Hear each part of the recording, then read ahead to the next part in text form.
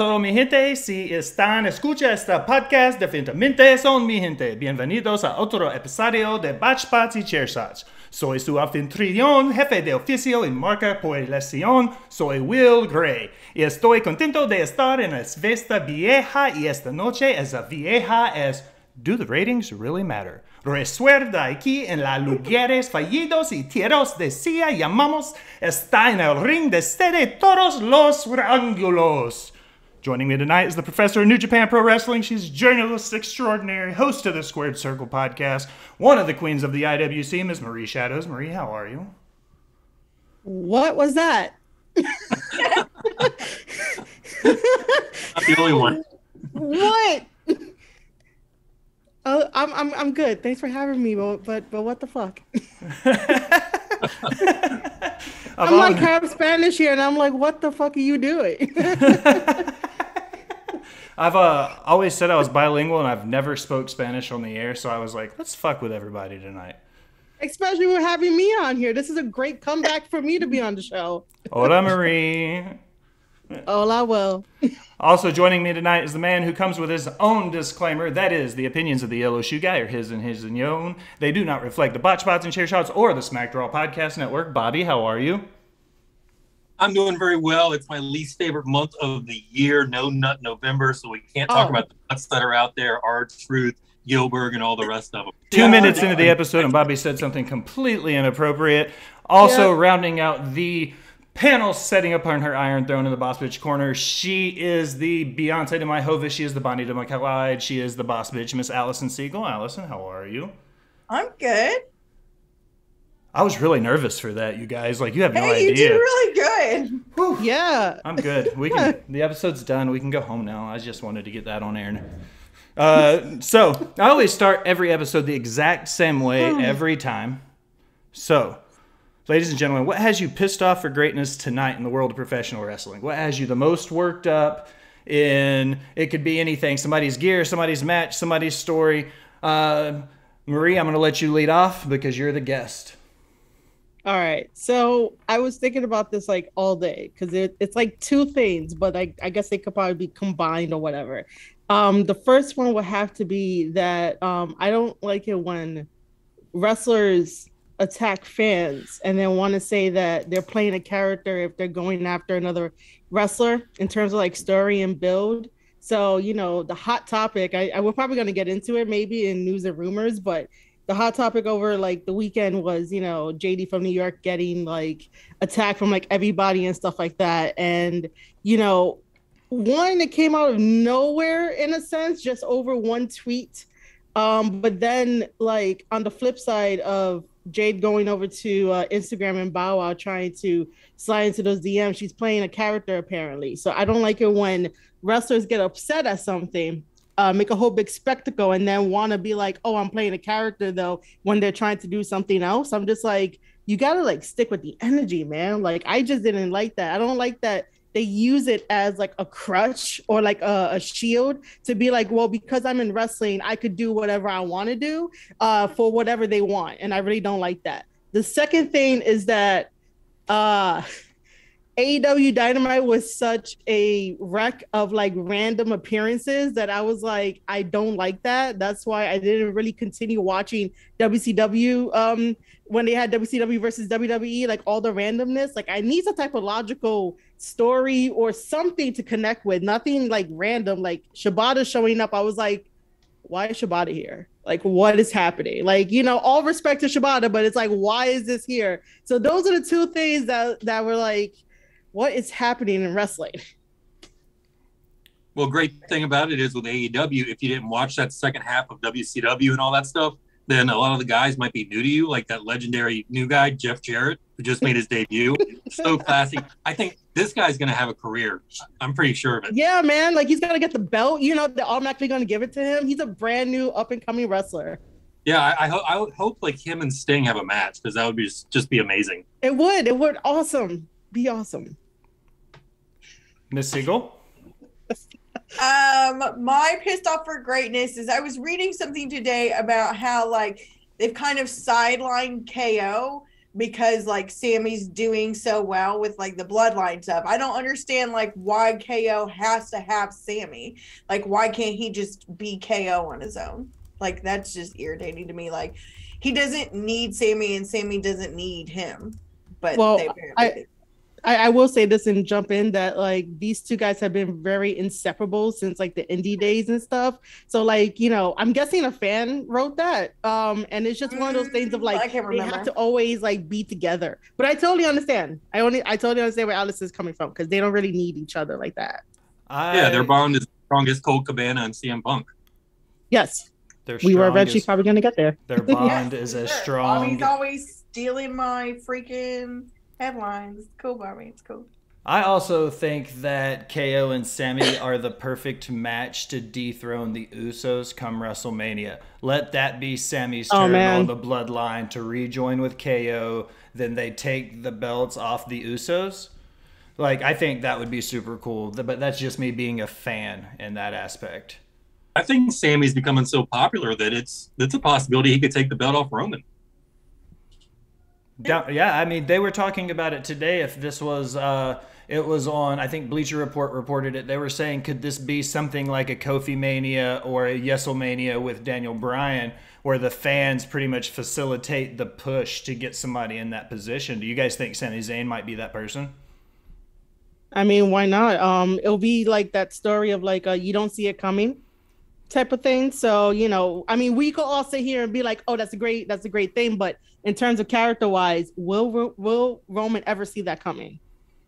I think. Yeah, and I think the log- I think it's a logical end. Like it's you know is is Sami becoming too big just to take the tag belts with KO versus the Usos? Like you know this that whole Usi thing. Hopefully WWE doesn't kill it like to the ground like they do a lot of other cool like natural things. But yeah, like s- if you would ask me this Sami like Sami Zayn like six months ago or a year ago, there, I'd say there's no way. But Sami's Sami's got that natural uh, attraction now with the crowd, kind of like what Daniel Bryan did. Mr. Mack, you're up. Oh, for pissed off for greatness. Um, Yep. I, you know what? I'm gonna have to go with the ladies in the WWE. That Triple H just naturally think that Emma was going to get a strong pop after five years of not being on the show. like I really think they botched that whole thing. I think that they should have taken the time, vignetted her, and built her up, and then re-debuted her. Like I don't think against Ronda Rousey was going to have any huge effect in any city, and I think that pretty much I think it already squashed her. Fair. She gave up her uh, OnlyFans to come back to. WWE. Oh, really? That's the other thing I'm I'm upset about. The, Tenille Dashwood's OnlyFans. That's what you're upset about. Yeah, she put a lot of good recipes on there. I'm sure that you. That's the same reason you read that one article by Hefner, right? Was for the articles. Yeah, yeah. Paige VanZant puts some really cool like stuff on there, like home living and things. I highly, highly recommend it. I'm gonna throw one in from the chat before I do mine. Is that Matt from Smacking It Raw is still pissed that he doesn't have an adequate answer as to how time zones and daylight savings time affects spooky hours and ghosts. He's trying to figure it out here. How do ghosts know it's three o'clock in the morning? Which time zone do they work on? I still need answers. I'm with you, Matt. I still say we unionize the ghosts so we know exactly what's going on. oh my god. Okay. I have one this week, guys.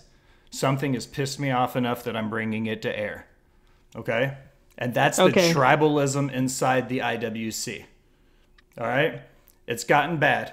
Ever since CM Punk left AEW and you know Bray Wyatt came back, it's been this ultimate pissing contest between the two companies and between the two fan bases. And what I'm here to say is is time for the world to burn. And I think the only way to make that adequately happen is for CM Punk to show up in Stamford, Triple H to hand him a microphone, allow him to say whatever he wants in the most CM Punk way. And ultimately, the gist of what he needs to say is me, Papa H, and Steph are going to do everything we can to bury AEW.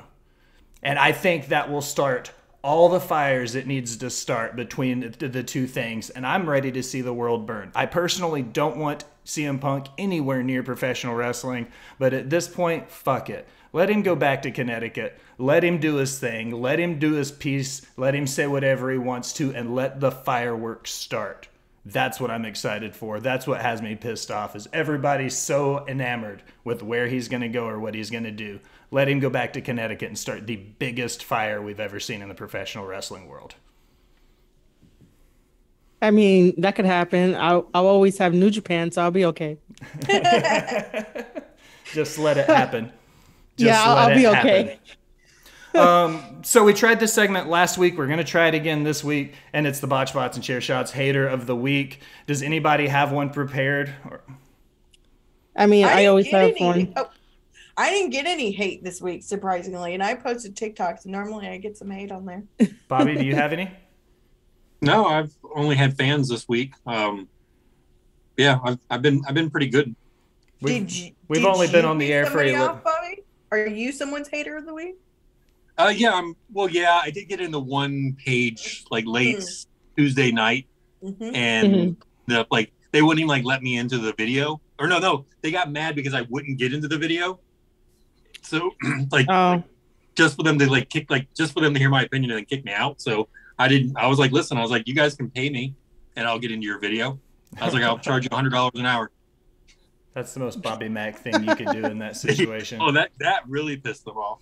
Man, I wish I could charge for that and get pe- and get people pissed off. But um, you know, I'm always gonna have my my my one stalker on uh Twitter, and uh, my stalker had asked, you know, if I can unban the stalker, and I was like, nope, because I don't want you coming into my DMs anymore. Uh, to talk to me about wrestling or try to prove me wrong, and I will have a podcast dropping soon about that whole entire shit again. I can't. Now I think I did say, can you please unblock me? No, no, no, E- no, no, no.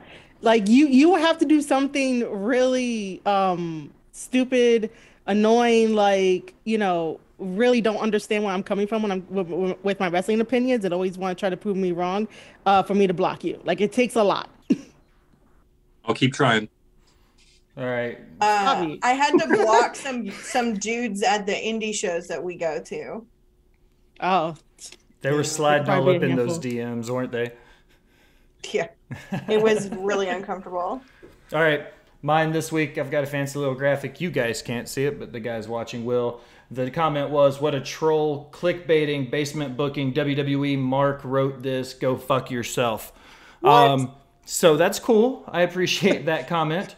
Um, oh my God. I I apparently didn't have some nice things to say about AEW that day, but uh, there you have it. Those are the haters of the week, ladies and gentlemen. Now I get to send it up to Alison, and I have to stop talking substantially. So it's time for news and rumors. Yay! Okay, so first one is probably the the biggest thing being talked about right now. Uh, Crown Jewel is still a go despite imminent threats. Uh, I think this is really fucking stupid uh, that they didn't move the show. Like they're really risking these guys' lives right now. Like even just the slightest bit of threat, like I don't care how much money you're paying me. Nope. Hey, you can't let the terrorists win, and you can't give up those souvenir uh, dollars at the stand. Mm, I think that with it being a bot show, I think if they said, okay, let's just relocate, give them an extra show next year when everything cools down, and then sell 500 tickets at the PC. There was a, a fake graphic floating around that said that's what was happening, but it was never made official or confirmed by WWE. So I think if they did something like that, that would probably be the better move.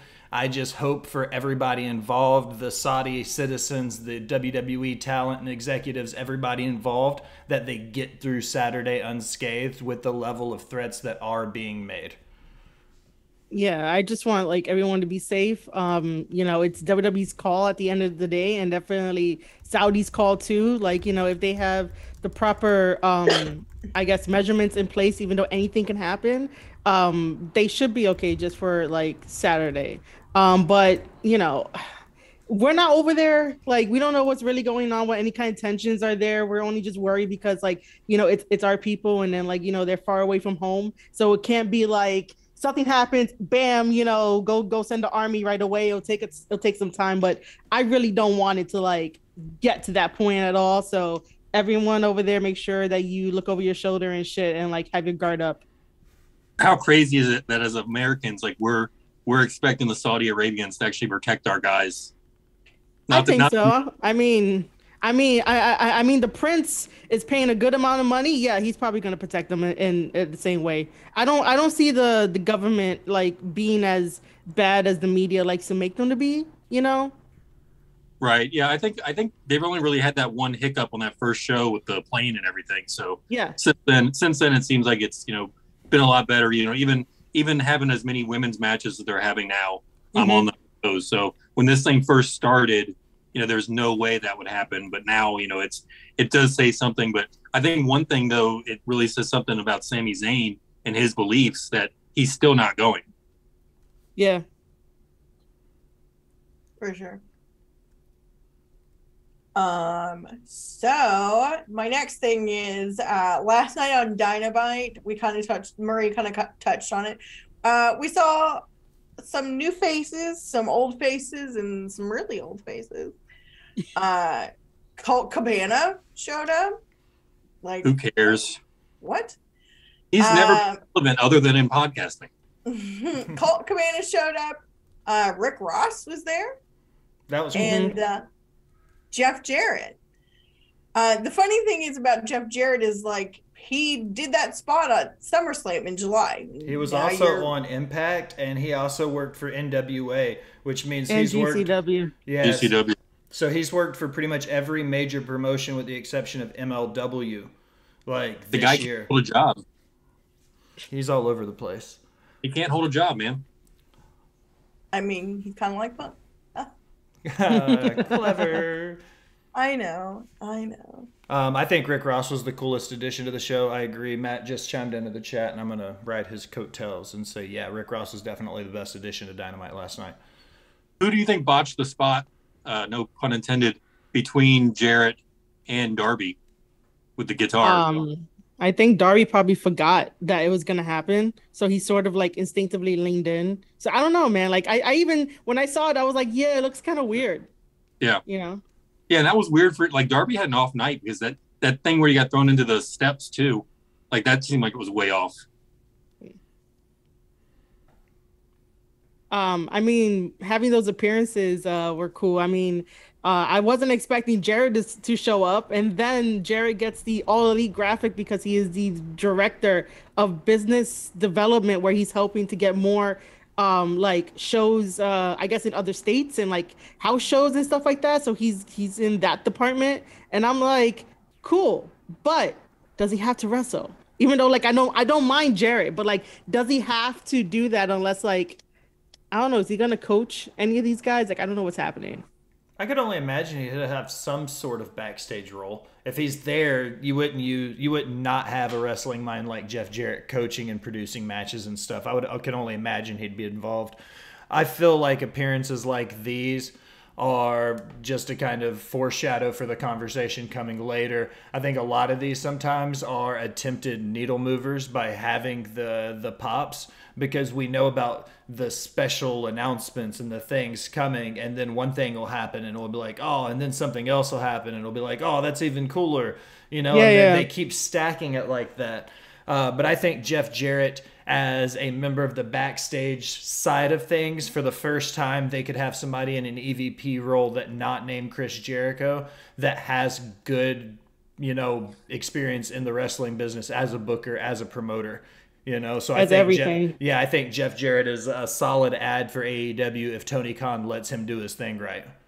That's I think true. he could be, yeah, I think he could be a solid ad for the talent that want to learn. But the EVPs that are currently there are being invited back. You know, the Bucks and Omega, um, Page, even though he's not an EVP. You know, Page is Page has been put on record to say, you know, that he doesn't want to learn, that he already knows. Uh, Omega thinks he already knows everything. The Bucks obviously are the same way. So it's you know really the guys that are going to want to listen, like the Darby Allens um, of the world that want to learn. uh, you know, MJFs uh, of the world. So I think the buy-in is going to have to be if he is going to be an EVP or if he's going to be on the same level as the Bucks and Omega, then there has to be a there has to be a restructure of senior EVPs and EVPs, and somebody's got to be take the lead and be the boss of the EVPs. Yeah, because if not, everything is gonna, you know, continue to be the same thing and be in this never-ending circle. And then we all sit here and we're like, guys, you need some type of structure, some type of, you know, leadership. That's the only way that like um a company continues to become grand and like, you know, get like cool shit like in five years, six years, you know, they're still around and stuff like that. You know, I still hold out that I'm at like 1% right now of AEW surviving. Uh, just because I'm just like, guys, you gotta get your shit together. Um, you know, uh, it was interesting to see Colt Cabana on Dynamite. I wasn't expecting that at all, and like felt kind of bad because I was like, damn, like he's been on Twitch the whole entire time, hasn't said anything, made his money on Twitch and stuff. And then here comes Cabana, and I'm like, oh, this is interesting. All right, cool. Let's see what this is gonna do. Um, obviously, the internet was like, oh, this is Tony Khan being petty. You guys don't know that. Shut up. Like, you guys really don't know. Um, aside from that, um, I'm a little concerned about Shibata because according to the Wrestling Observer, even though I don't really like putting them over or putting them on any type of platform, um, mentioned how Shibata wanted like two matches with AEW uh, superstars. So like he wanted to work with Orange Cassidy and want to work with Daniel Bryan. Orange Cassidy, I could be like, cool, you know, I, I don't mind that, but I am concerned about him wrestling uh, Danielson only because of like Shibata's like almost deaf like deaf injury that he like he dealt with. That luckily he he survived and he's able to still wrestle with us. Like I don't want him wrestling Danielson just because I know how Danielson could take it from zero to 100 at times. And I'm like, bro, like, I know you guys are technical wrestlers, but like, I'm just concerned about Shibata wrestling. I'm here, like, why? Like, I'm still like, why is he here in AEW? I liked his return at Wrestle Kingdom, and to be honest, that was one of the first time I had ever had a chance to watch him work, and I was super impressed with. He had a technical match, and a lot of Yeah. people are like, it was a wrestling school match, and I was like, It really was. But but if you look at it and you watch the way they worked, it was like the perfect wrestling school match. You know what I mean? Like the timing was on point, everything was crisp. You could tell who the heel was, you could tell mm-hmm. who the face was. Everything about it looked like two really really great young lions coming out of the dojo even though they were both established stars because they did the safest match possible and it was still an absolute banger. So I was like, Yeah. okay. So I, I was He- about it. Yeah, he fought um Zack Sabre Jr. and they put on one hell of a technical uh classic. Um, you know, that's how much uh faith like Shibata had in him in order to make sure that this match shined, but everybody was still concerned about like, you know, he's coming back from from from, from an injury that he almost died from. So Miss Siegel? Um, let's see. So some more AEW things. Uh, speaking of the Uncle Dave's publication, um, so they're saying that a source close to Punk has said he's never going to wrestle again once his AEW contract is up. Uh, Ringside News says a completely different story. Every single story since the since the backstage brawl has been different. There still has Mhm. been no video evidence even though all the journalists were there no photo evidence nothing. And the internet has taken it as gospel as if like it is true. And i am like guys whatever happened to like the first rule of trying to figure something out? Like you need some type of evidence to be like this happened this didn't happen for it to be like true or not right? So like whatever it is now it's whatever. Like they're just making up stories at this point for your hard-earned money that other people can use, like original content creators like ourselves. Like I'm not gonna be uh, hiding behind like trying to watch my words or whatever. It's getting annoying. Like all these Yeah. stories are getting annoying. No one is holding them accountable, but everyone wants to hold someone else accountable for like the smallest of things that they do on the internet. Yeah, Yeah. and what does never really mean in pro wrestling? Like Shawn Michaels came back like 10 years later. Um, Terry Funk, how many times has he retired from pro wrestling? Like, Yep. there, yeah, there, there is no never in pro wrestling. So, um, Ric Flair, I don't know if you guys know this, just wrestled a match. Like, uh, like it's crazy. So there's never, there's never a never in wrestling. And, you know, these guys are all taking guesses at it. Punk is a private guy. If he's talking to anybody, um, it's probably going to be people that he trusts, and they're not gonna they're not gonna spill the beans because Punk would like to look like Cabana. He might know you for 20 years. He has no problem dumping you once you once he feels betrayed. Mm-hmm. Yeah. Um, Raquel teamed with AJ and Rey Mysterio during house shows this past week against the Judgment Day. Um, possibility of a faction called the OC. Well, they're already the OC. But I mean, like, but not, but they haven't on TV added Raquel.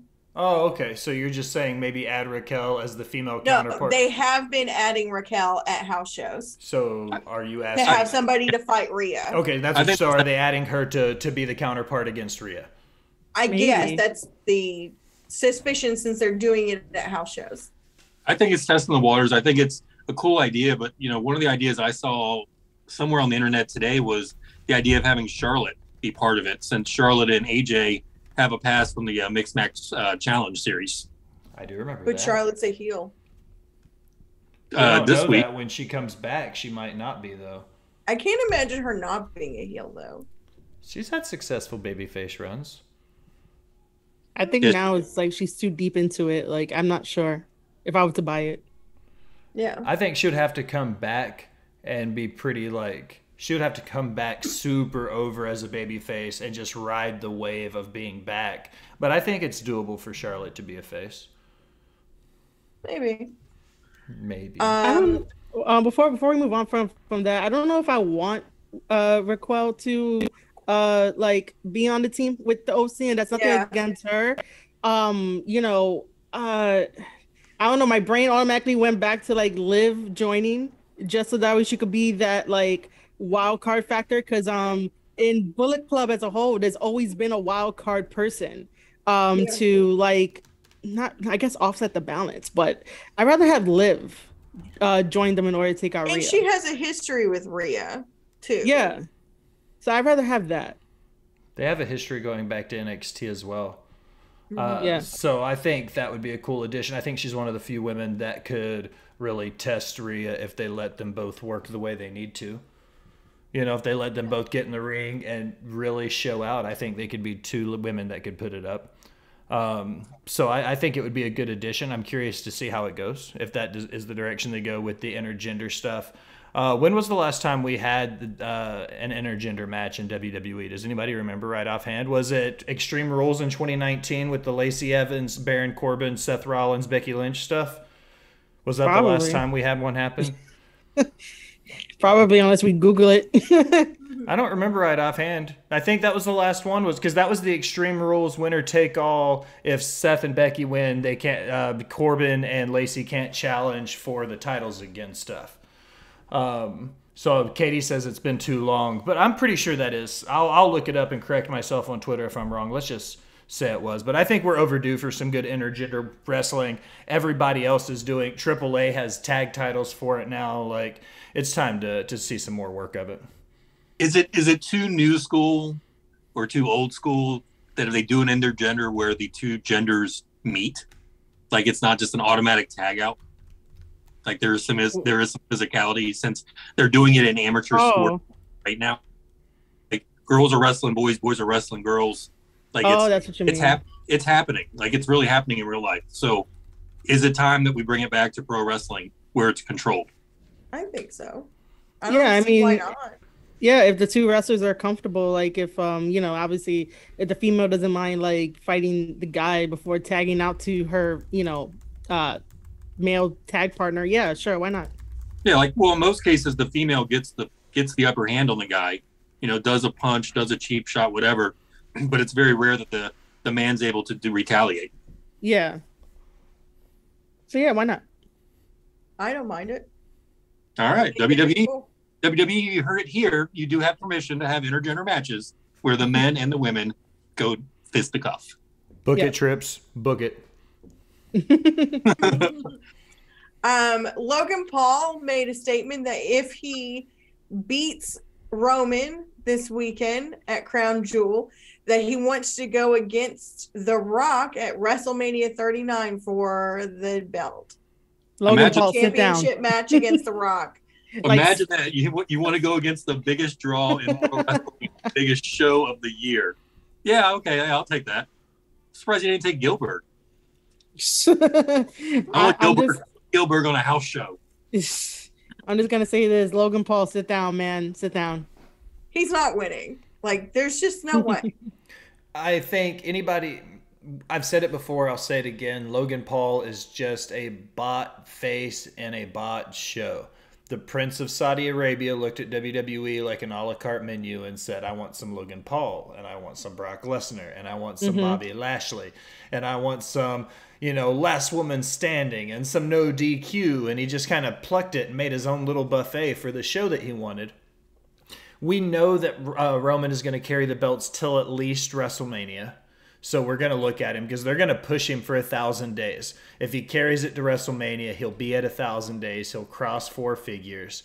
So I feel like there's no way he's dropping it before then. So if anybody actually thinks uh, Logan Paul is going to take the belt off of him, I'm not sure they actually watch professional wrestling. Or Logan and Roman are telling that good of a story that they're believing it, Yeah, I which do- I, don't think they're that good of a story. I So, do don't- think he hits real hard. So if he did actually punch Roman in the face, he hits hard enough to knock Roman out. I don't Yeah. think that Roman would allow that. yeah, I, I, I think that could be the spot. It could be that punch, referee bump, or Heyman Yeah. distract. Let me ask you guys. let me ask you guys a real question. Okay. What if the whole build, and we know Logan Paul's a, a little bit of a shisty dude. He's done some questionable things. He's done some stuff for some clicks. He's done some stuff for some views.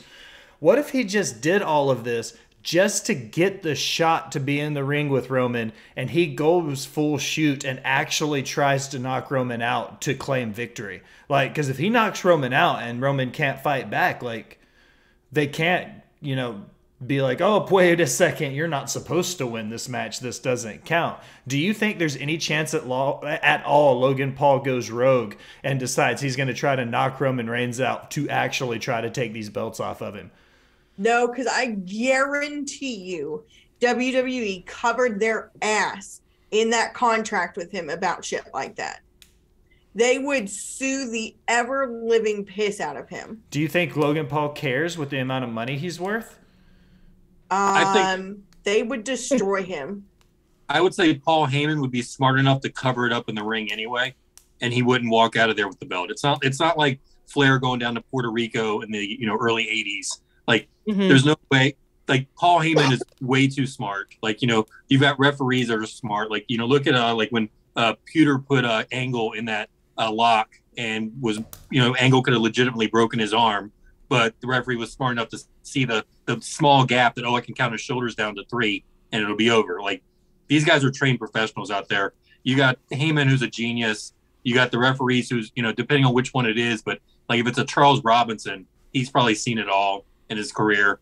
Um, you know, you got announcers at the table. You know, if there's a Lawler out there, or even a Michael Cole could be smart enough to direct traffic. Like it just wouldn't happen.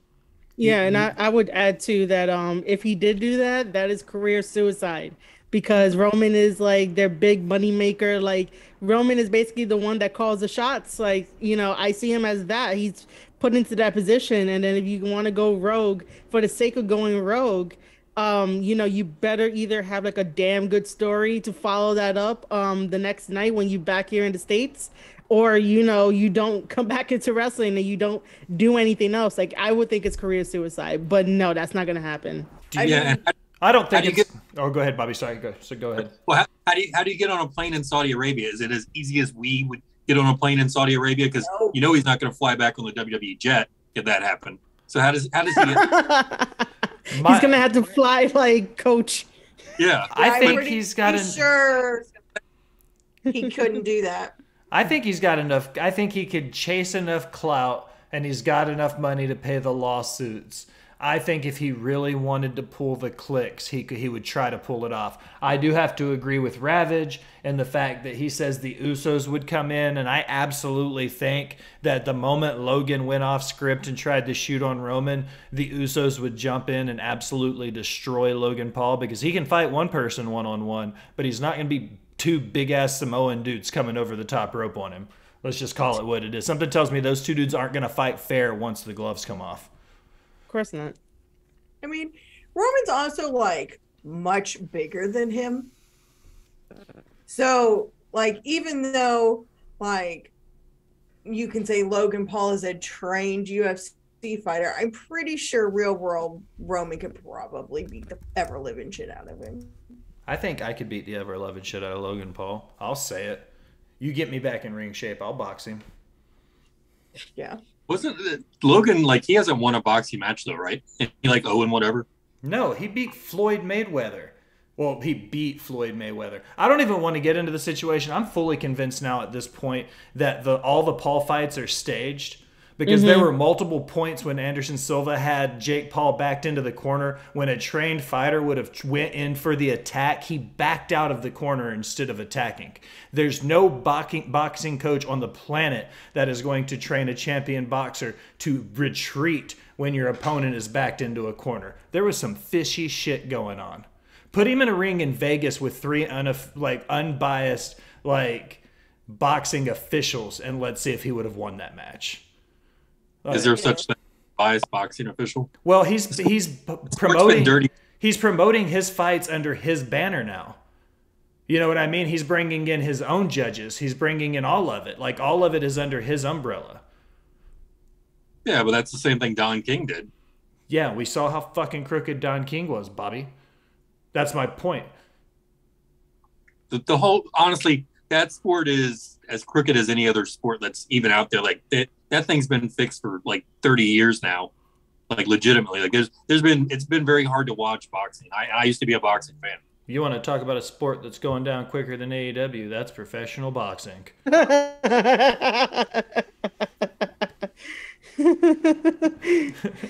Fair. Miss Siegel, what's next All on your list?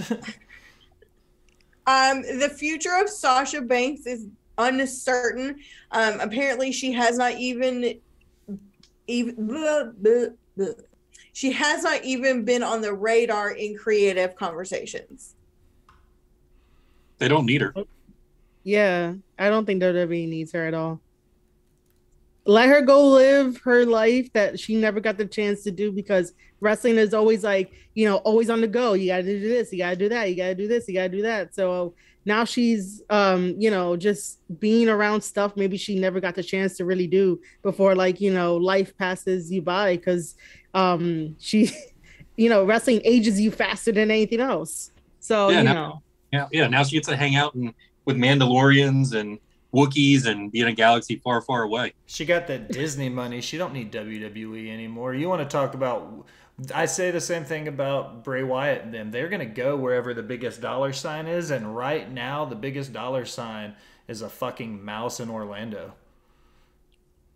Yeah, that's sponsoring the New Year's Eve uh, ball this year. They're gonna Oh. they're gonna drop the Mickey ears down at in uh, Times Square. My- Really? My, goal this year Yeah. is to be something where completely fucking awesome for New Year's. I haven't got to celebrate New Year's at all in years, so I'm gonna do something badass this New Year's. I'm not sure what yet.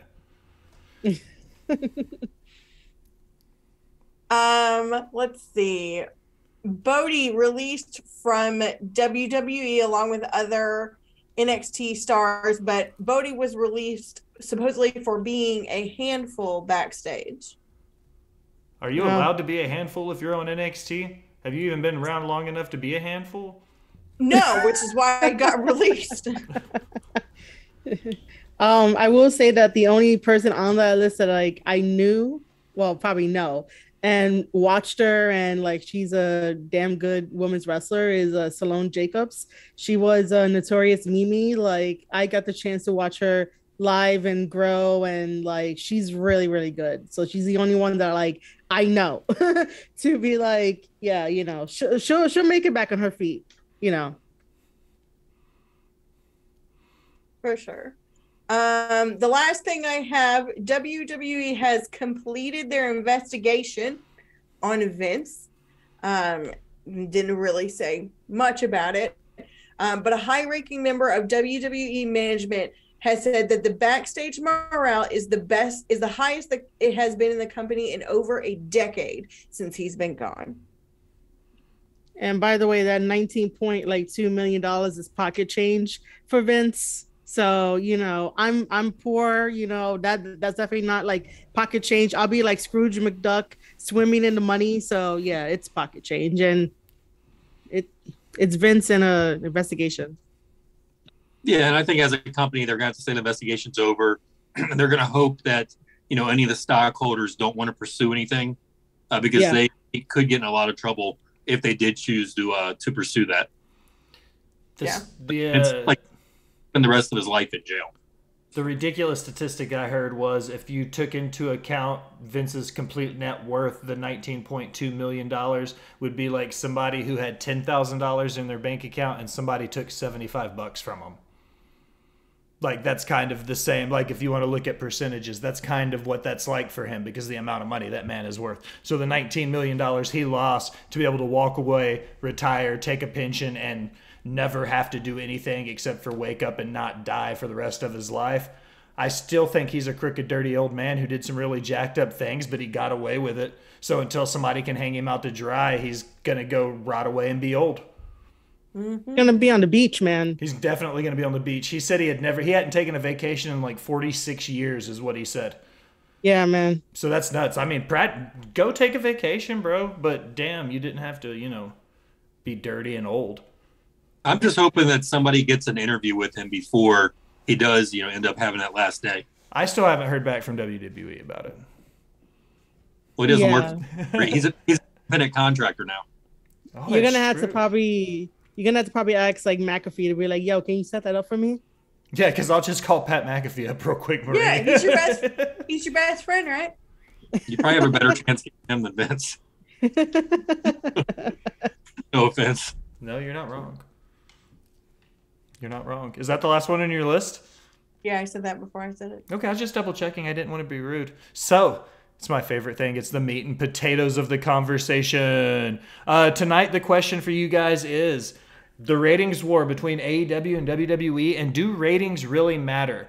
Uh, so, I'm going to throw a number out there, and they're completely irrelevant to each other because of the two different time periods that they happened. Raw in 1998 had a nearly 8 million person viewership, which is their highest of all time, and AEW debuted in 2019 with a 1.4 million viewership. So, like I said, apples to oranges because of different ages. So, initially thinking about ratings, do you think ratings really matter? They ma- they don't matter to the fan. I will will say that, but for business purposes, they do. Like for advertising and promotions and things like that, they really matter. Um, but to the fan and the viewer, absolutely not. I don't know how to answer this right. I mean, I mean, there is no right or wrong answer. Oh, absolutely. Um, I do. Yeah, I do have to agree with Alison that, like, you know, to the to the viewer, the ones that are at home, just watching the product doesn't really matter to them. Um, their view actually like counts. Um, well, now that we know that the the freaking Nielsen company doesn't really count it as well as it should, but it still counts because they have it on their TV and stuff. Um, and it is for advertisers. Um, I do want to say that it sort of kind of helps the promotion, the CEO, because they know like who to target, what to target, get the right advertisers for it, and then also get the right fans for it. Because obviously the fans are going to like they're going to the shows, they're paying for the tickets. Plus, the ones that are at home that can't make the show are buying the merchandise, so they know who to push and what to do. So it like it kind of does, and like it doesn't at the same time. But fans think that like it really does matter, you know. Yeah, I think for the internet trolls, it matters, um, and the advertisers, and those are going to be the two biggest ones. Um, you know, you're going to hear, you know, like uh, Dave talking about, you know, the demographics and all this other kind of stuff. It, I don't even understand how it even happens anymore since you know DVRs are such a thing. Like you don't have to watch Yeah. anything anymore unless it's you know a, a true sporting event and you you want to see who's going to win. You know that like that Super Bowl. Yeah, that one you might want to watch live. You know, even if you're not a football fan, but you know for pro wrestling, you know, again, the advertisers are one thing, but I think the other thing is just really the trolls that are out there. They're the ones that watch it and want to brag about it. and they probably don't even understand how it's done. Mm-hmm. Yep. So you guys brought one of the things up, and you mentioned the key demo. What that means is is the age group from 18 to 36. I'm pretty sure, with the exception of Mr. Mac, there he's the only person that just just squeaks out of it. You're just barely out of that key demo there, Bobby. Um, yeah, 17. I'm going to be 18 though this year, and I can't wait to be able to go in my uh, first uh, nudie bar. Oh my god, man. He's living the life. living his best life. So AW currently right now, they ride the wave of being able to draw a huge percentage of their viewership is the key demo. So pretty much what that means is if you look at the million viewers that watch it, roughly one third or 300,000 are that 18 to 36 year old range. What I, I guess my question is do you think TK can be consistent long term riding just this one demographic? If he does it right, yes. But the overall viewpoint from looking at it from a top from like the top, no. Because you do sort of have to get everybody, but the way you get everybody is by telling stories and being consistent. Not like, you know, for two dynamites, you're gonna get this awesome story, and then like the third dynamite in the month, you get something completely random, and then the the story that took place two dynamites ago are gonna be up on that third rampage in the month, and you're like, why do I have to do that if it's if it's a if it's a main story you're pushing on the main show, keep it on the main show, right? So like that that's how I look at it. Uh on one hand is yes, on the other hand is no because like if you don't have that consistency, it's not going to work out to where you want to like improve in the line of um your demographic. and that demographic has changed a lot over the years. Like when nielsen you know came out that was a different you know that was a different generation where brand loyalty was important. Like you know if you drank pepsi during those you know generations of that you know origins you never went to coke. Like you were brand loyal. You drank miller Lite, you never drank bud light nowadays in that that same demographic they do change and their their opinions change. And they don't mind like if they go to a bar they'll try 15 different types of beers hopefully not in the same sitting. Um, they'll try that you know if they've only got you know coke then they're going to get a jack and coke. If they only have pepsi they're going to get jack and pepsi. Like they're they're not loyal when it comes to brands and they're going to go to the best product. So aew might be the best product today but if wwe does something tomorrow that they like or bring in one of their favorite aew guys like cody for example then they all just jump So do Yeah, you? I mean, Oh, sorry. Go ahead, Al. Go ahead. nope. You go ahead. No, no, no. What were you gonna say? I don't know now. Did I ruin your train of thought? That's oh, awesome. oh, Aw. All right, look, well, this is my question for you guys, okay? So if you look back at the late 90s when WWE was losing to Mr. Bischoff and company for 83 consecutive weeks, it's like a clever name for a podcast or something. But what the the thing is to keep in mind there is that let's look at it like an electoral college versus popular vote situation. Not necessarily the same way, but kind of follow what I'm saying here, okay? In the late 90s, leading up to the birth of the Attitude Era and WWE, then WWF retaking the lead, okay? WCW was getting more viewers overall, okay? So they were kind of, you know, winning the electoral college because they were getting the the overall vote of it. But at the time WWE was getting the key demo. They were averaging similar numbers to TK now between that 33 to 35 to 37%. And Vince McMahon rode that key demo all the way through the mid 90s into the Attitude Era to stay affluent in the wrestling industry, eventually being able to buy out his competition. I'm by no means asking you guys, do we think TK is going to be able to buy WWE? But if he continues to ride that, do we think we could see something like that in the future where he's able to come out ahead because he rode that key demo? no i think unless he's a publicly traded company he's never going to be able to purchase wwe Well, like unless unless you're elon musk I just said that he's not going to buy WWE, Bobby. What I'm asking you is, do you think he can ride that key demo the same way WWE did in the Attitude Era in order to keep it going? No, because I think that's when the generational uh, key demo changed. I think right around that 2000, uh, 2005, 10, uh, 10 mark is when that demographic totally shifted over from brand loyalty to you know what's what's shiny today. Yeah, um, I would also have to add too that like even back in the day when WCW first came on the scene, it was like the shiny new toy. Everyone was like, "Oh my god, this is so edgy! It's so different," you know, because uh, at the same time as WCW was growing, WWE was doing well, WWF at the time was doing the same old things with the gimmicks, constant stories, you know, something that you could attach to. So that's why WWE WWF at the time uh, kept that same demo uh, throughout the whole entire thing, and then like took advantage of the shift once it happened because um, I think somebody had to tell Vince like, "Yo, you got to stop being stubborn." You know, a competition is here. They're getting like the best ratings. They're getting the best like you know reviews and pops and stuff. And this is way before like we had like Twitter really knee deep in like the wrestling scene and like ruining stuff. So the fan was still like going to school the next day or going to work and going to their coworker or classmate being like, "Hey, did you see it?" And like if you missed an episode, you know that was it for you. Like it,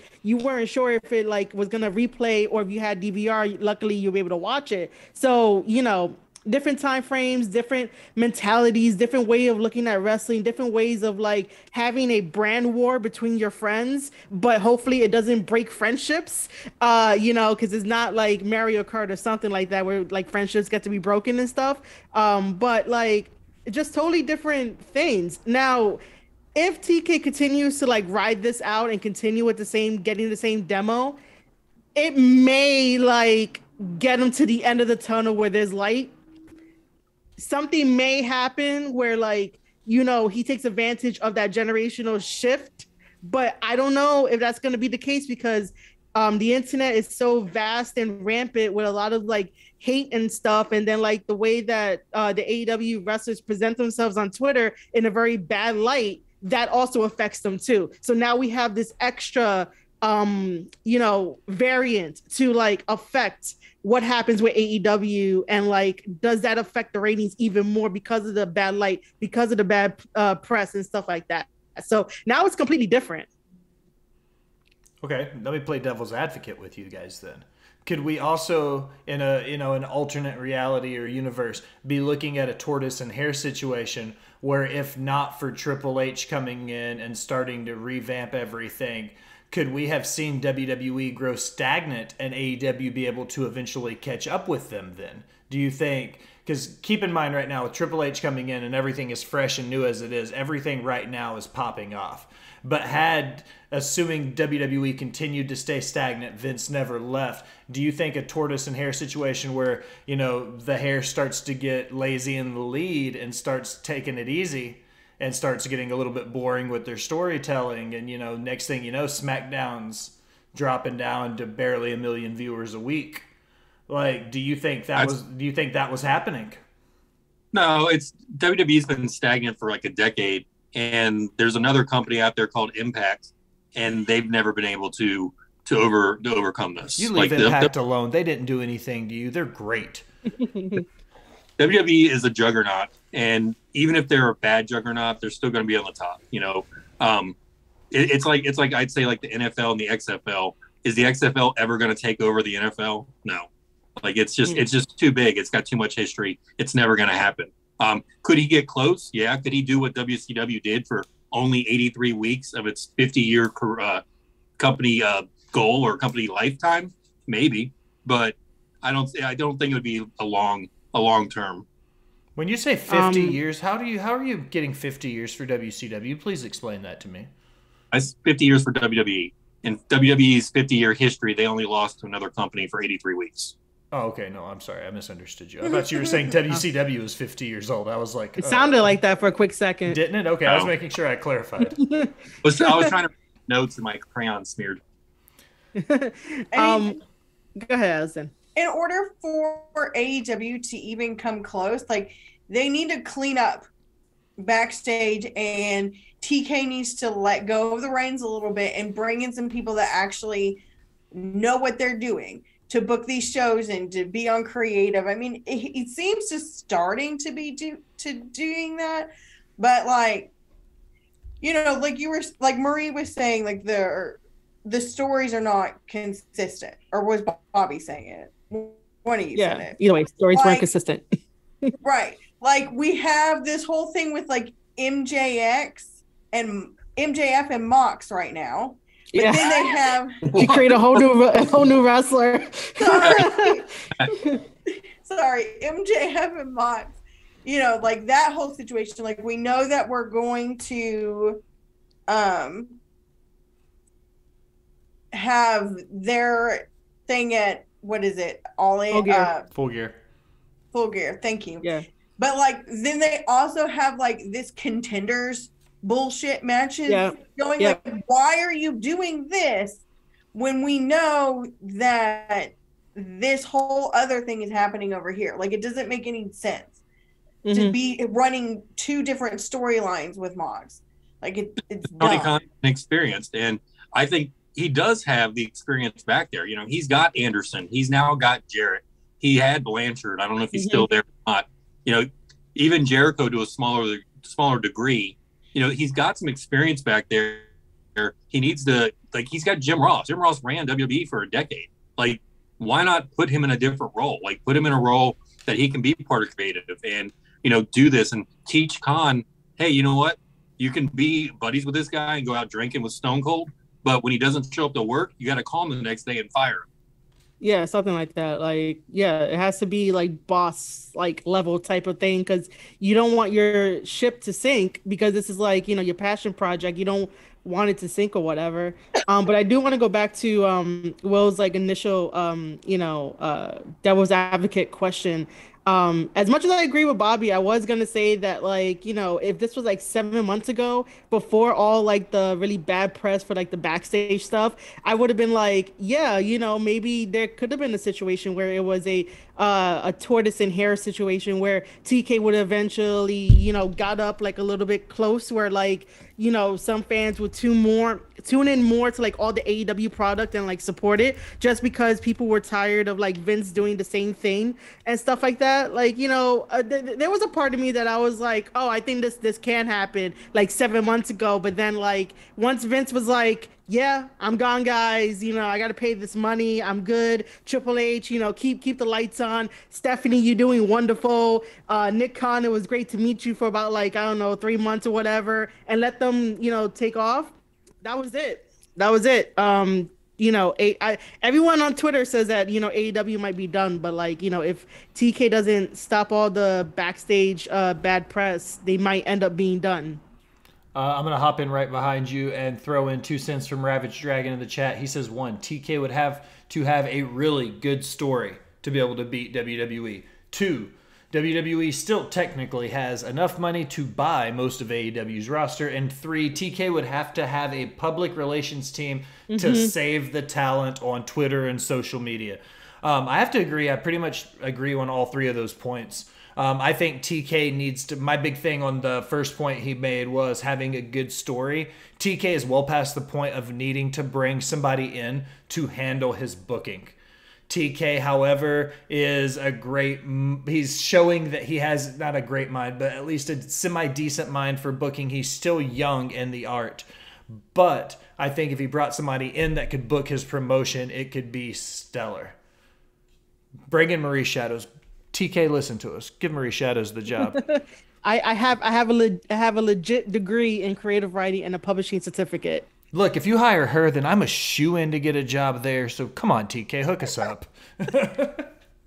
I'm probably still not guaranteed the job. We'll find something for you, Bobby. You can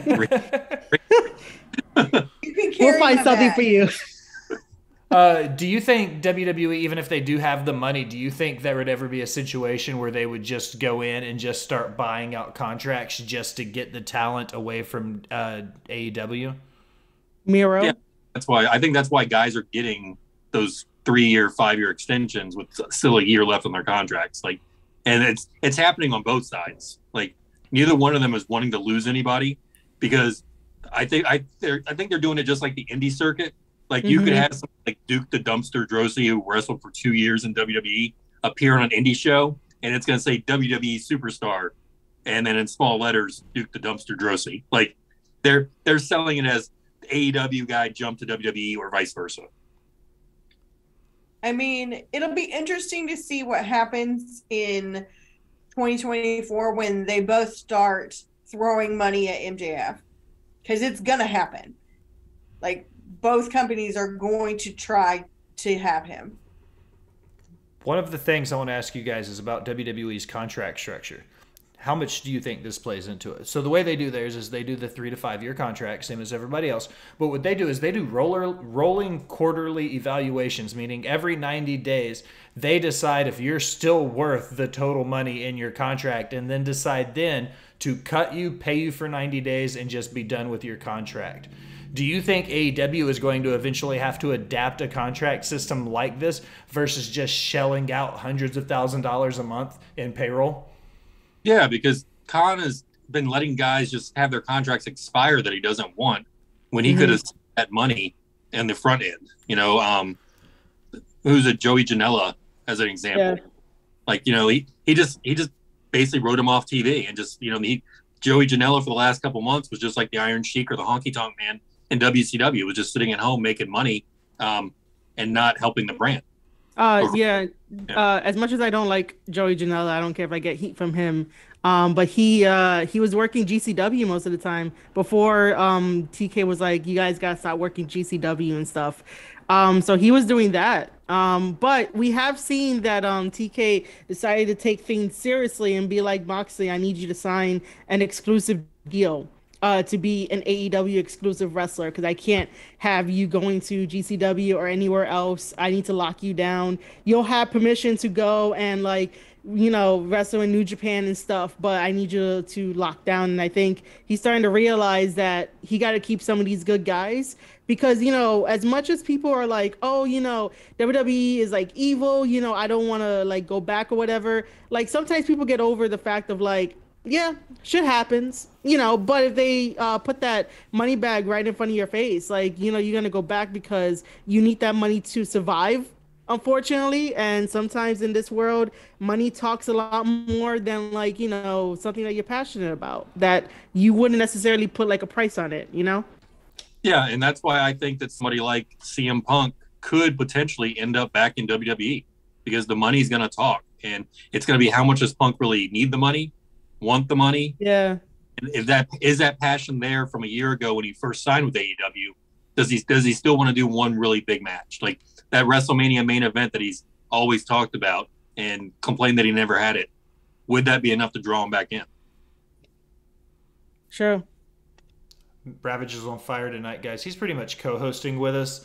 Um, he brings up another great point, and it goes into what Alison was talking about earlier with Jeff Jarrett and the addition of house shows. He says TK could save money if he got rid of Dark. What if they didn't eliminate Dark, but instead they used these house shows to be where they filmed Dark? So it would be an opportunity to sell the tickets for smaller venues, get butts in seats, help tell stories the old school territory ways by getting people to watch the house shows and then still putting it on YouTube. Do you think this is a way to blend the two to help with the revenue stream? So, because let's be honest, running a wrestling mm. business is expensive. The moment he goes on house show tours, he's going to start bleeding money that is not cheap. There's a reason why New Japan didn't break over into America for a long time is because it costs a lot of money to do it. So the moment he goes on tour, he's going to need to save that money somewhere. Do you think he can double dip and do dark and dark elevation on the road in house shows? he would have to get like a really big team, like how WWE has a big team that like drives all like um the trucks. Um, you know, you have to get at least three different rings, maybe even more. Like I don't know, but it sounds good on paper, but it it's not it's not the right time for TK to do that. I I still think that um TK should at least eliminate dark and dark evolution because you know even though um when it drops, if you get like 200k like the first like viewing or whatever, or maybe the 200k views is like after the fact, but like it's not I, I've always said that it's not beneficial just because there are a bunch of matches, and yes, there are guys there that I know from the indies and they get a spotlight and stuff, but they're like losing. I wouldn't like if I was a wrestler, I would not want to show a promoter that I want to get booked on their show. Like, hey, I showed up on AEW Dark. They watched the match and then they're like, well, you lost. Why should I invest my time and like a ticket in you to be on my show? Like, I've always looked at it that way. That like, you know, sure, you're getting the exposure, but are you like, do you really want to show a promoter that that that that, that you lost? in a very like embarrassing way. So I think that Dark and Dark Elevation needs to go because it's not fair for fans to sit in an arena, which is a um, live dynamite taping, and you have to sit through Dark, Dark Elevation, Dynamite, and and Rampage. It's not fair to the fans. It's not fair to the wrestlers, and it's like if he eliminates it, he'll have more money in his pocket, and unfortunately, guys won't have enough ways to work. But like, I don't know, man. It just bothers me that like we still have it. Yeah, I think I think it could definitely hurt your stock if you're if you're an indie guy that's like already like mid mid talent. Like that's somebody that we both know. Let's talk Chase Owens. Chase Owens. Chase Owens appeared. He appeared on WWE TV. Sixty-five and, minutes. And yeah, in a. In I had both of you on the show for sixty-five minutes before Chase Owens got brought up. Man, I wasn't gonna bring him up, but all right, Bobby. Let's all right. Let's do this. no, let's see if you know the story. He was on WWE TV in a handicap match against Ryback when Ryback was jobbing guys out. But if you knew, Chase was the reigning NWA Junior Heavyweight Champion at that time. Like that was a huge risk for him to go on there and do something like that. Now, if you're looking in past, like you look at MJF appearing in those backstage skits, nobody knew him back then. So I don't think it would hurt him to go out yeah. there and get punked out. But for the NWA junior heavyweight champion to go on national TV and lose to Ryback in a handicap, that that could have really that could have really soured his career and and long term wise. But you know, if you're a young talent that nobody knows, or you're just you know those first two or three years of you know your indie run, then yeah, get that exposure, get to know some people, get that backstage going. Uh, but yeah, it's it, it's definitely a risk factor. Mm-hmm. See, nothing negative, nothing positive. I'm gonna clip that into a TikTok and tag him in it. You should. So let's go into this and look at it from another perspective now, from the streaming side of things. Okay, WWE has the deal with Peacock, therefore they don't necessarily focus as much on pay-per-view sales. However, AEW still does the four pay per views a year where they're still highly reliant on the sales of those pay per views. They've had a few gates over a million dollars, but their pay per view sales are always above average. How late to the game is AEW with getting a streaming service? I think company history they're, they're they're young in the game, so you don't need to come right out of the box with you know a streaming service like I doubt that The Rock is going to come out with a streaming service for the XFL the first year. So, you know, I I think YouTube is a good way, a good forefront to get into the streaming service. WWE did the exact same thing um, and feel it out. You got to build a library before you can get a streaming service because you need to have enough content. Ring of um, Honor. Sorry, I coughed huh? and said I coughed and said Ring of Honor. Sorry. uh, Ring of Honor never had the following AEW. You know, and they've been around a long time. Like Ring of Honor to me, when WWE was talking about bringing in um, independent shows onto their network, that to me was brilliant. Like if you're an indie and you can get on WWE Network, mm-hmm. then by means, like take some of that WWE money and all that exposure you're going to get and get on the network. Like I don't, I don't care if you're admitting that you're a small fish, you are into this big ocean that's WWE. But look at the audience that could draw to you, and like those indie guys that you know you guys have famously decided not to work for anymore because they told you not to. Um, that's that's stupid to me. Like they they could have used our platform to get some more notoriety and to get some people in the seats if their show was good enough. Yeah, um, you know, this is a very difficult question only because it's like you know AEW, uh, you know, got created, and then you got to think about like, do we automatically launch like maybe day two a streaming service just because uh, you want to be like in the game with everybody else. Um, you know, it's a very difficult question. Uh, and I think that's why they quickly was doing like the dark, dark, uh, dark at first, and then uh, Dynamite to have the content, and then eventually create like a streaming service. Um, I don't know why, for the time being, they don't use the Ring of Honor streaming service just to like um, have everybody go there, get a membership, get to watch the on um, the pay per views, and maybe like their subscriptions will grow because it is kind of ridiculous to pay like fifty dollars for like a um a, a pay-per-view when I can, you know, go on to Peacock and like pay what, like nine ninety nine still? Like, you know, whatever it is. Um, regardless of like, you know, who's been doing the streaming service longer, just the idea of that, you know, I could do this one lower price for that one, you know. Um, I mean, they could utilize like um FITE TV, which they do. I was um, about to then, ask you because I was going to bring what? up the GCW deal about the oh, yeah. the streaming service on FITE. Uh, what is it like? What is it? Five dollars a month or like five ninety nine a month? Yeah, my question was going to be: Do you think five dollars a month is too much for GCW? Because I, I kind of feel like five dollars a month is a lot. I wouldn't. I wouldn't pay ninety nine cents. I'm going to be honest. I think I'm probably going to end up getting it, and you know why? You know why, why I want to get it? Because Alison likes cheesy deathmatch shit. That's why I'm probably going to end up with the GCW streaming service.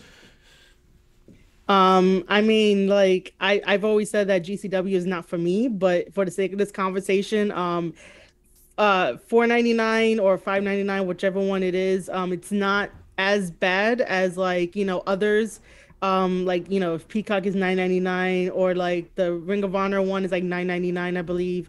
Um, you know, or even just buying a fifty dollar pay per view, so it's not as bad.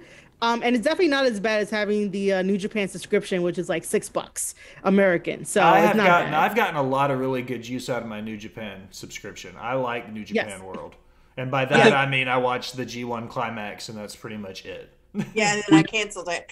Uh, but it's not just five dollars. So it's five dollars on top of the on top of the regular nine ninety nine FITE subscription. And you have to use oh, the really? stupid Chromecast thing. Oh, okay. Then never mind. Because then you're paying. Oh my god.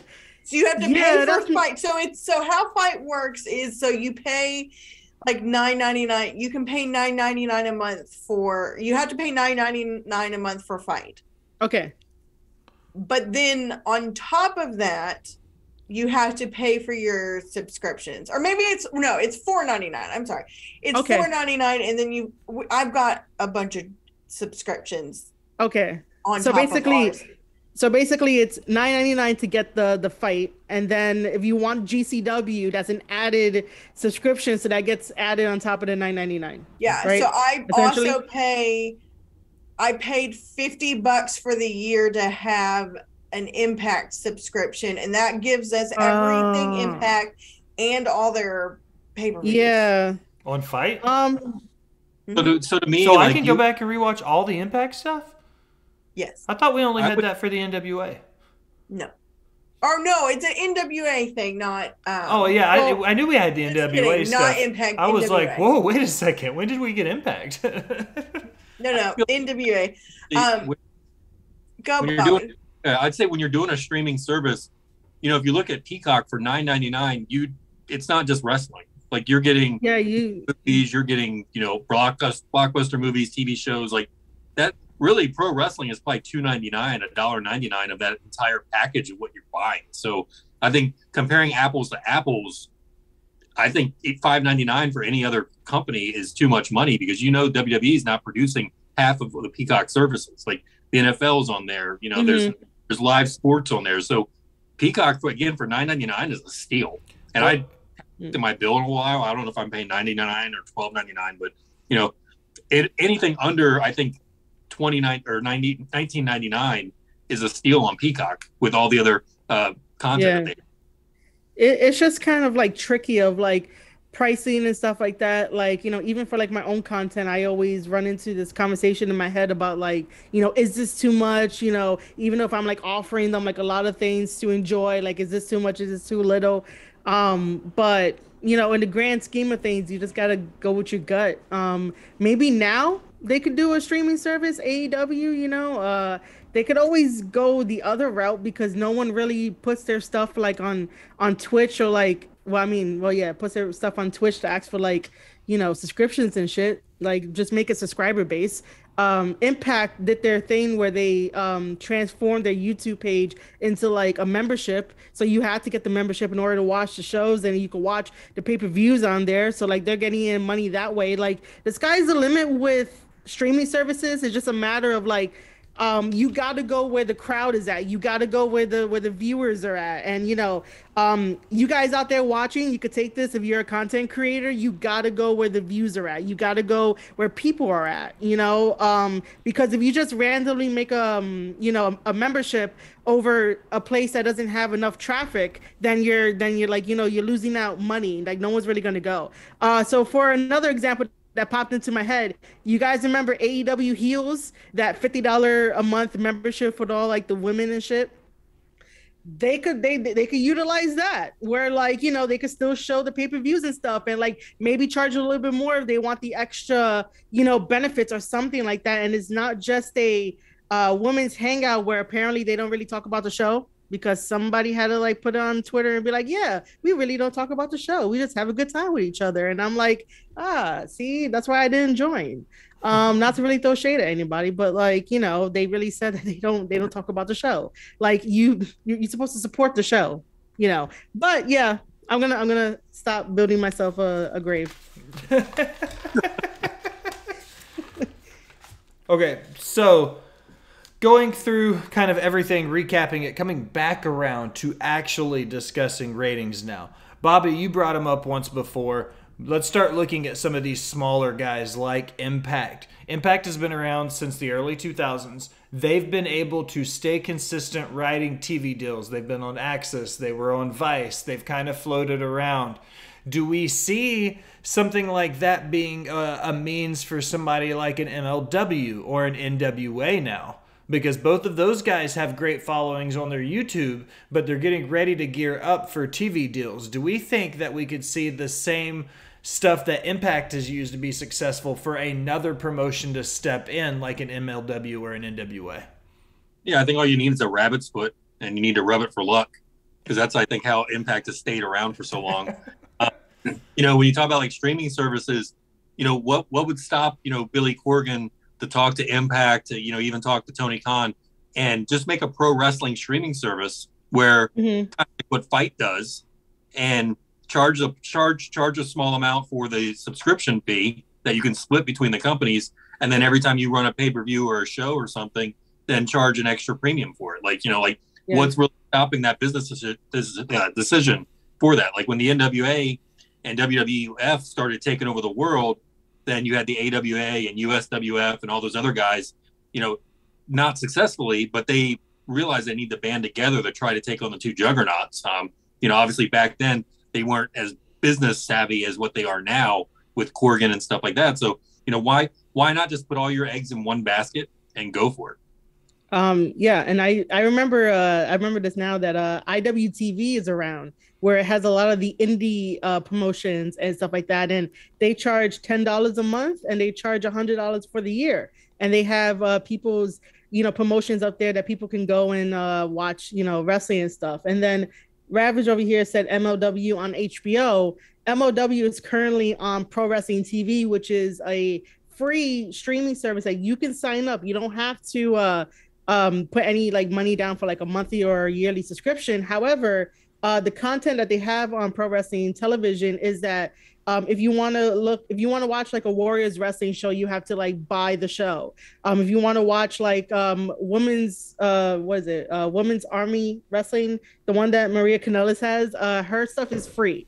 Um, they have like TV shows running as like an actual network cable thing. So like there are options out there. Um, you know, it's just a matter of like what AEW and TK like wants to do. Ravage says NWA on regular TV as well. Did you say that?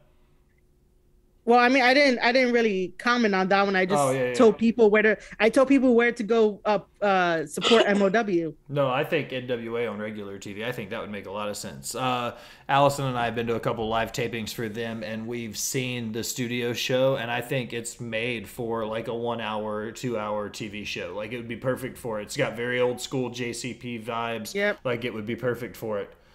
Um, all right, guys, we did it. It's my favorite part of the episode now. We just gotta plug our stuffs and go home. Miss Shadows, you're up. You can lead us off. All right. So uh this was fun and amazing. I'm glad to be back on the damn show because uh, I missed you guys. It was far too long. Um, yeah, definitely. I missed you guys.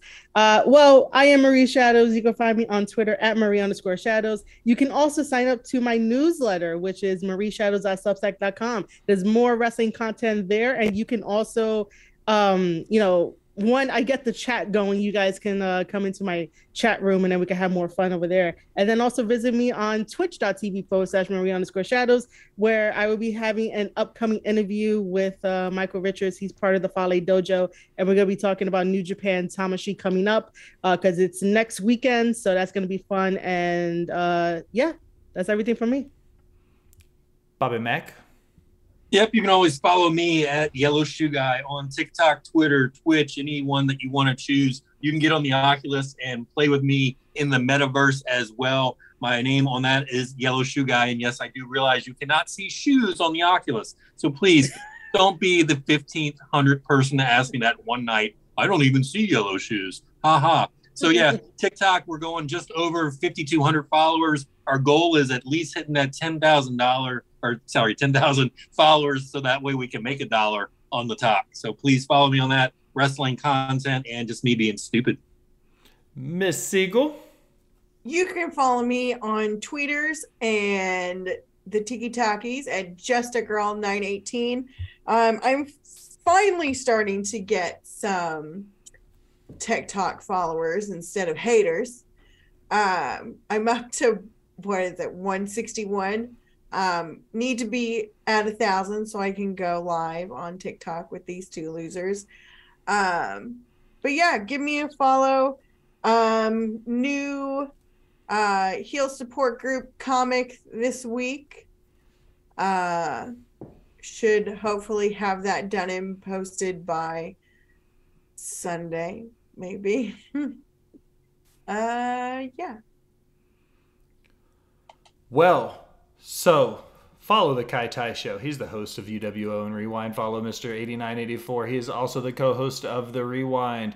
Follow Ted the Hillbilly Hill at the Hill Truth Podcast. And I'm going to take a second, real quick, to talk about myself because I did something really fucking big yesterday.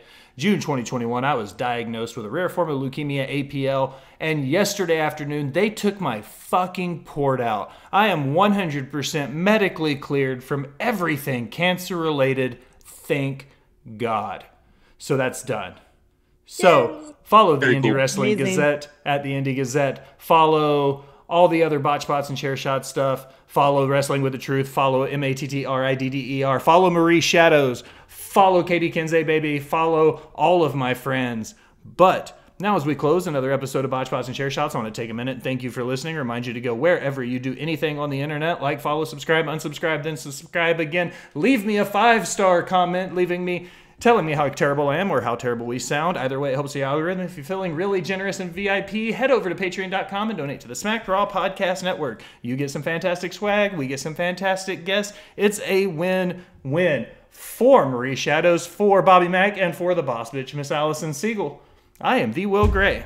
Thanks for stopping by and listening, my people. And I wasn't trying to do that one in Spanish.